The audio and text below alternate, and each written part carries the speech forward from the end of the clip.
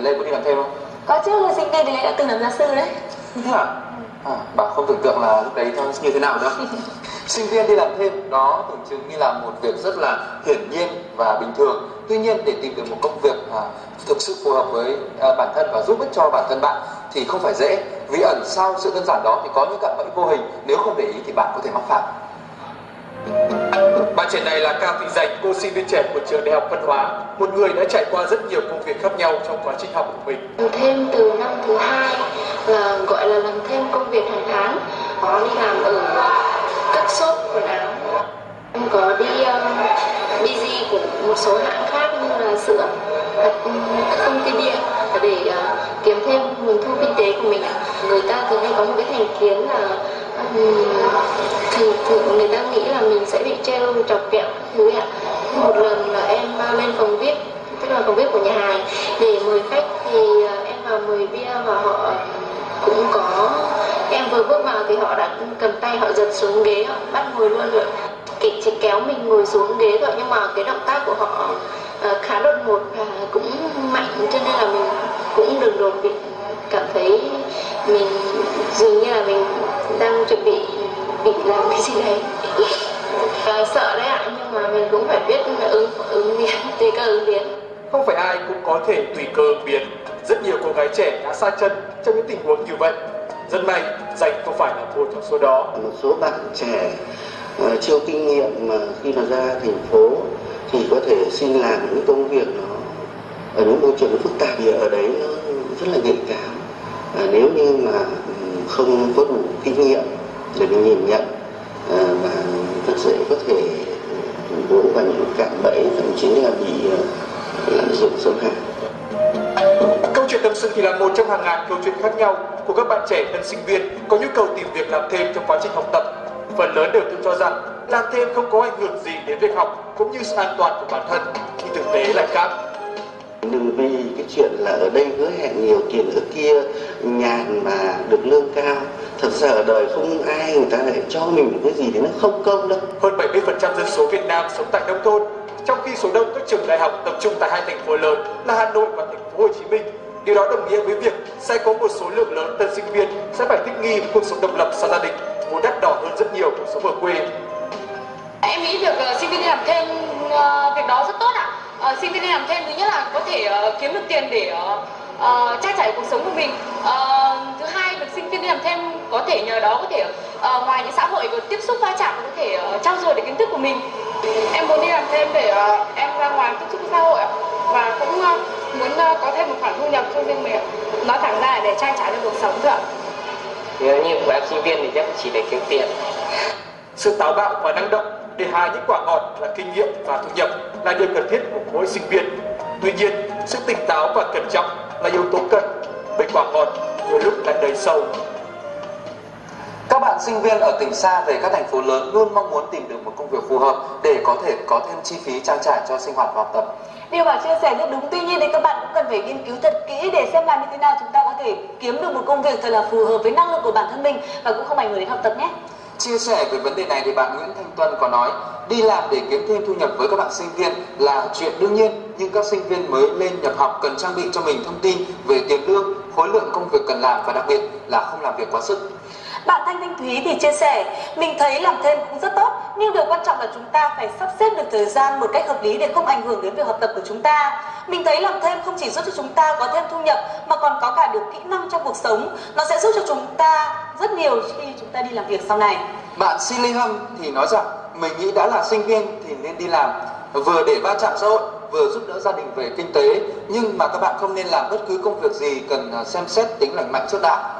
Các bạn thân mến, làm thêm trong quá trình đi học đại học là chuyện hết sức bình thường, thậm chí còn đem đến cho các bạn những cơ hội, những trải nghiệm khi các bạn ra trường và bất kỳ bạn trẻ nào cũng cần thiết phải có kỹ năng đó. Ngoài những cạm bẫy rủi ro, cách để xác định và lựa chọn một việc làm thêm phù hợp là chuyện không dễ. Hầu hết nhiều bạn trẻ thì uh, nhất là các bạn tân sinh viên mới chỉ nhìn chuyện làm thêm theo hướng uh, tích cực và kết quả thuận lợi mà thôi.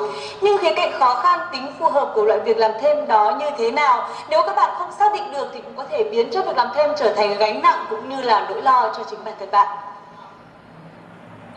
Trong căn phòng này, Nguyễn Đăng Yên, cựu sinh viên trường Đại học Khoa học Tự nhiên Đại học Quốc gia Hà Nội đang hướng dẫn cho các bạn sinh viên hiểu được những kỹ năng, các cách tiếp cận một công việc làm thêm, giúp các bạn sinh viên xác định đúng công việc mà mình dự định làm, cũng như ích lợi mà công việc này sẽ mang lại cho họ trong tương lai.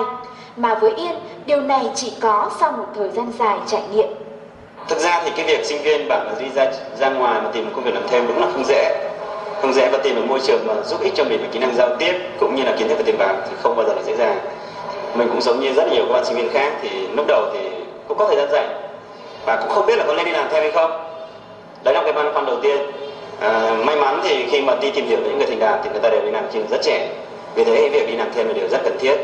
Nhưng khi đi làm thêm thì cũng trở ngại. Trở ngại thứ nhất là mình cũng không biết tìm những công việc làm thêm ở đâu.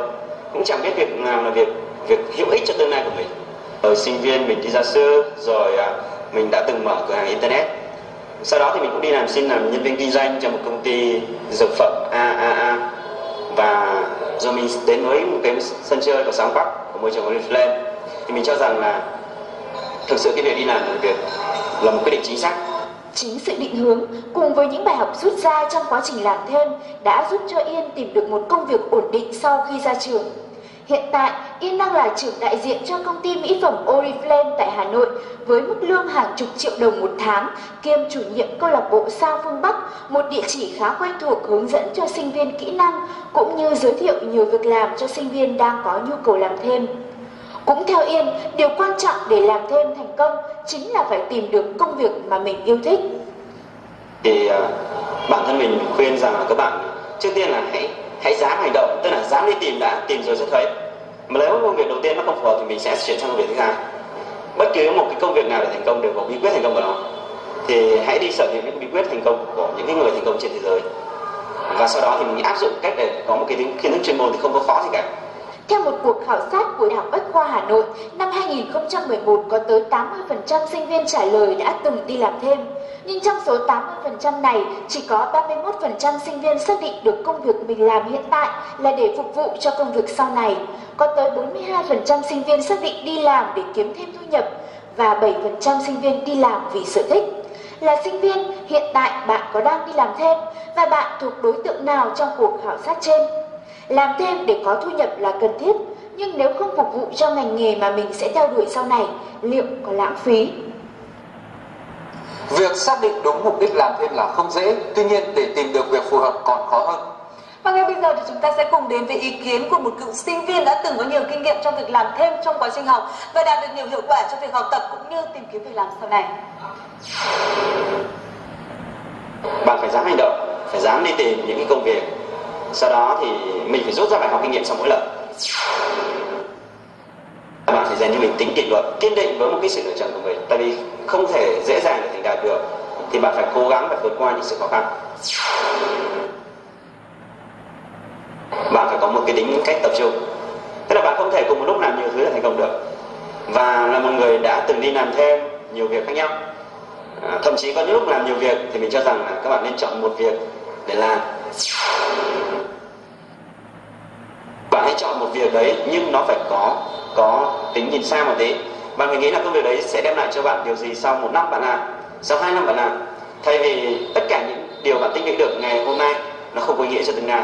Hoặc bạn mất một năm bạn làm nhưng khi bạn không làm nó thì nó cũng không có nhiều giá trị các bạn thân mến, thông tin vừa rồi đã khép lại chương trình Thư viện Cuộc Sống ngày hôm nay.